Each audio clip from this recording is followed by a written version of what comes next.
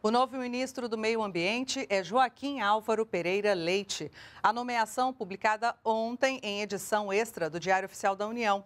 O novo ministro tem mestrado pelo INSPER, o Instituto de Ensino e Pesquisa de São Paulo, e atuava como secretário da Amazônia e Serviços Ambientais, área ligada ao ministério. Segundo o ex-ministro Ricardo Salles, a mudança ocorreu para a pasta se ajustar melhor à agenda internacional. Salles ainda fez um balanço dos dois anos e meio que ficou no governo.